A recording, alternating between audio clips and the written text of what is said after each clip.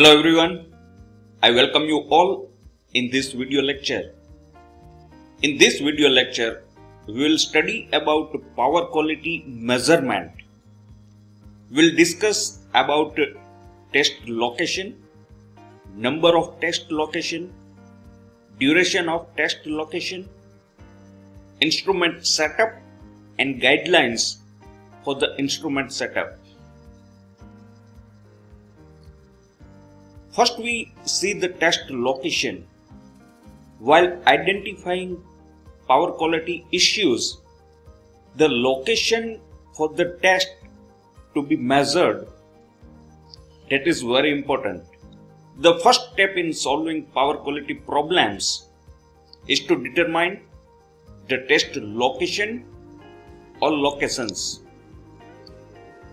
Setting up instrumentation at a location that is not optimum with respect to the affected equipment can yield misleading or insufficient information. Even the best available power quality instrumentation is only as good as the personnel using it.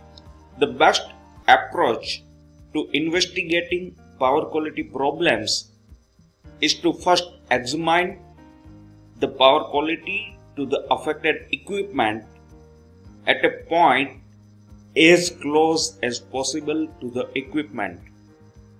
So while identifying the power quality issues, the very important location that must be as close as possible to the affected equipment. If power quality anomalies are noticed, then move upstream with a process of elimination plan that is at each location determine if the problem is due to load side anomalies or line side problems. Now at the same time, number of test locations are very important. Power quality test should be conducted at multiple locations simultaneously.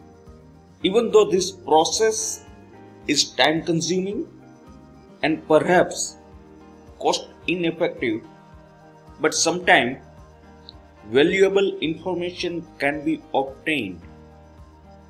If simultaneous monitoring is not feasible due to cost or other factors, each location may be individually monitored, taking care to ensure similar operating environment for testing at each location to allow direct comparison of information. So similar situation or similar operating environment while testing each location that is very important. Suppose for example, here we can see that uh, if we have power quality problems found at point C but not at point B, then there is no meaning of conducting test at point A. But in other case, if we found power quality issues at point C as well as at point B, then it is almost mandatory to carry out the testing procedure at point A as well as at point D also.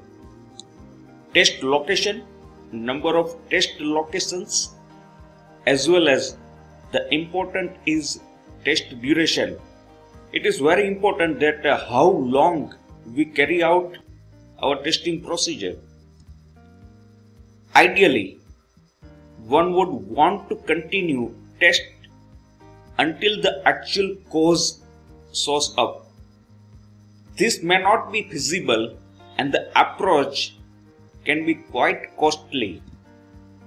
So as a general rule, it is necessary to test each location for at least one week unless results definitely indicate power quality issues at the location that could be causing problems. In such a case, the interval could be shortened.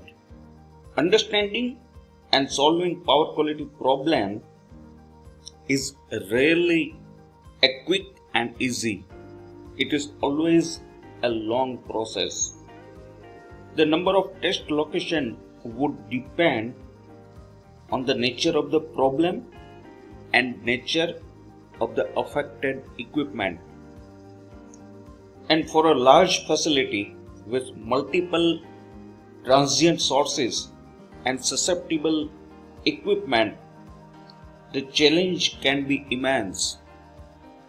Now, regarding instrument setup, setting up instruments to collect power quality data is probably the most critical aspect of testing and also one that most often can decide the end results.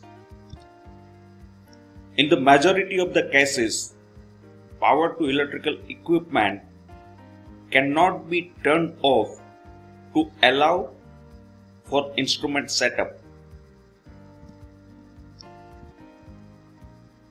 Personal protective equipment is an important component of power quality testing.